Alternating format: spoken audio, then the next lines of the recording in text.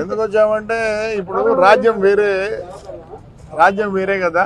అప్పుడు చెప్తున్నారు రాజు దలుచుకుంటే రాజు దలుచుకుంటే ఏమయ్యా? దెబ్బలు కరువా అని. రాజు దలుచుకున్నాడు కేసులు కరువా.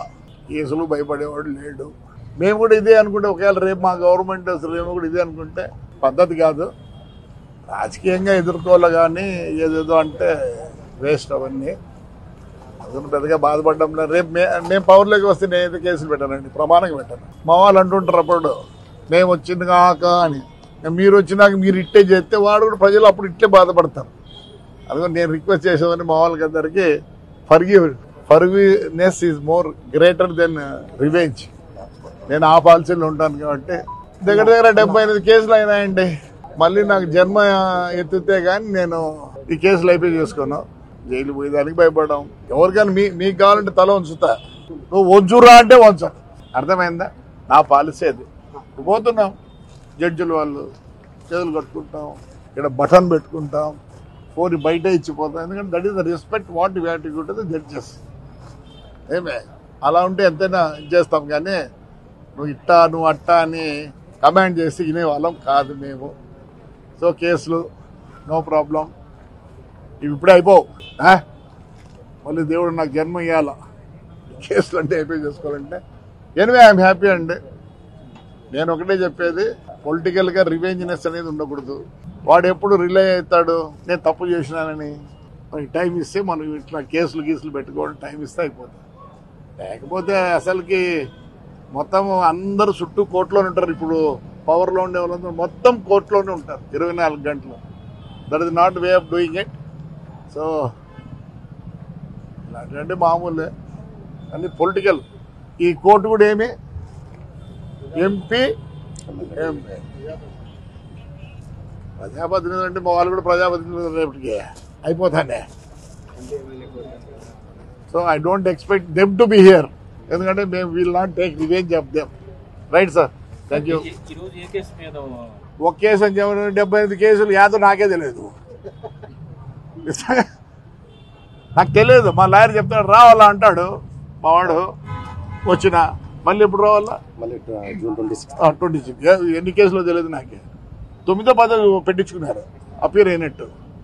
సో అవన్నీ ఎంచుకోకూడదు. డెబ్బై ఎనిమిది ఉన్నప్పుడు ఇంకెప్పుడు ఎంచుకొని వచ్చా నువ్వు బాగున్నావు? ఏమైనా ఉన్నావు తండ్రి? ఇప్పుడు ఏం చేయమంటావు? లా ఉందా? అసలు మీకేంటో ఇలేదే కొట్టుకుంటారే అక్రిడేషన్ ఇలేదని అది తెచ్చుకోండి చాలు మీరు.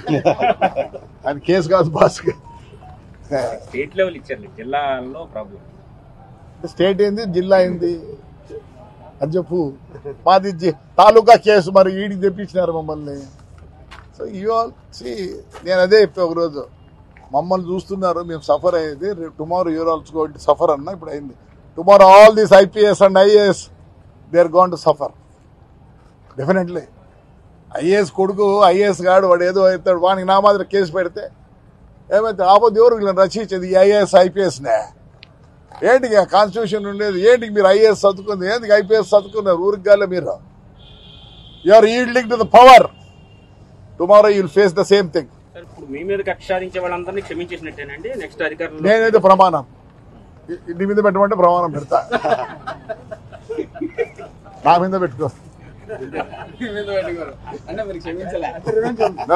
I'm seventy two I don't it's not good also on my part ఇప్పుడు ఏజ్ పెరిగే కొద్ది ఏమవుతుంది you'll think what's the use uh putting ఏమిటి జైలు ఐ డోంట్ గెట్ ఇప్పుడు మేము జైలుకి వచ్చిన ఏమైంది? మూడు పుట్ల మంచి అన్నం పెట్టినారు బాగా టయానికి పెడతారా? మీ అమ్మ మీ నాయన బెటర్ రే. గంట కొడతారు రా రా నాయన టీ తాగురా అంటారు. గంట కొడతారు రా నాయన టిఫిన్ తీసుకురా గంట కొడతారు అన్నం పెడతారు. టైం తప్పకుండా తింటాం వాడ అర్థమైందా? మాట్లాడేటోళ్ళు ఇంకా బాగుంటుంది కొద్దిగా. పాపం ఉంటారు. మాకు హెల్పర్లు ఇస్తారు putting into jail is not the ultimate దాంట్లో జైలుకి పెట్టారు. మరి తగ్గానా? తగ్గానా? So excuse should be there నేను చంద్రబాబు నాయుడు కూడా చెప్పాను ఎందుకు ప్రచారం అంటే మేము వచ్చినాక మేము వచ్చినాకనే? మీరు వచ్చినాక బాగుండాలని కోరుకుంటారు ప్రజలు. ఇట్లుండకూడదనే కదా. రాజశేఖర రెడ్డి గారిలో మీరు కోపం ఉన్నారని తెచ్చేసుకున్నారా కోపమా? తన కోప తన కోపమే తన శత్రువు ఇవన్నీ ఉన్నాయి.